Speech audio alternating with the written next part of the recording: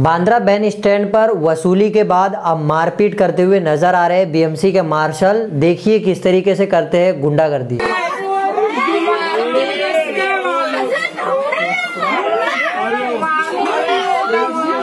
Mumbai TV, हर खबर सच के साथ। मैं हूँ अफजल शेख और आप देख रहे हैं मुंबई टीवी।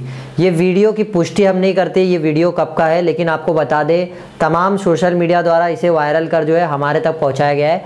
हम आपको इसमें दिखाना चाहते हैं कि कैसे एक युवक है, उसको मास्क के लिए बीएमसी मार्शल जो है टोकते हैं, जिस बात को लेकर के वो युवक द्वारा भी बातचीत की जाती है और ये जो बातचीत रहती है इसी में दोनों की नोकझोंक हो जाती है और इसी नोकझोंक के चलते जो है विवाद हो जाता है। विवाद इतना बढ़ जाता है कि बीएमसी मार्शल मैंने आपको पहले भी बताया है कमीशन के तौर पर काम करते हैं और काफ़ी गुंडागर्दी से लोगों से बात भी करते हैं।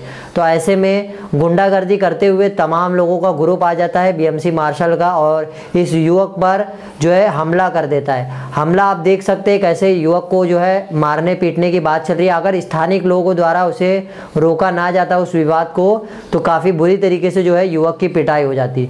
देखिए किस तरीके से बीएमसी मार्शल जो है मास्क के नाम पर तो वसूली करते ही है, लेकिन साथ ही साथ गुंडागर्दी करते हुए मारपीट भी करते हैं। इसका हम आपको वीडियो दिखाएँगे और बता दें, फेब्रवरी से लेकर अभी तक का नौ करोड़ से भी ज़्यादा की रकम जो है मास्क के नाम पर वसूला गया है। कई जगह पर ऐसे मामला भी आए हैं जहाँ पर बीएमसी जो है दो सौ रुपया या सौ रुपया दे करके तीन लोगों का फाइन छोड़ देती है और कई जगह पर तो ऐसा भी हुआ है जहाँ पर बीएमसी मार्शल को जब लोगों द्वारा समझाया गया कि आप ऐसा नहीं, ऐसा फाइन वसूल रहे हो तो उन्हें छोड़ दिया गया है। तो देखिए किस तरीके से लगातार बीएमसी मार्शल के इस तरीके से गुंडागर्दी है और कई जगह पर मारपीट करते हुए तमाम मामला आ रहे लेकिन उसके बावजूद जो है, किसी भी तरीके का ध्यान जो है, मुंबई की मेयर किशोरी पेडनेकर नहीं दे रही है। अब सबसे बड़ा सवाल उन पर भी होता है, क्या कार्रवाई करेंगे वो इन बीएमसी मार्शल के ऊपर जो इस तरीके से गुंडागर्दी करते हुए मारपीट करते हैं?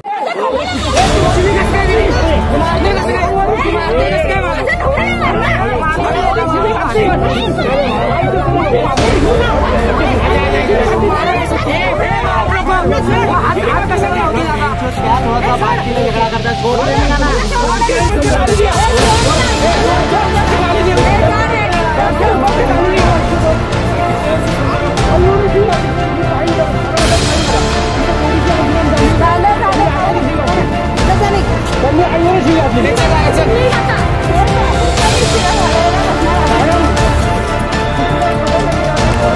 ऐसे ही तमाम अपडेट से जुड़े रहने के लिए सब्सक्राइब करें मुंबई टीवी मैं अफजल से फिर हाजिर हूँ एक नई न्यूज़ के साथ।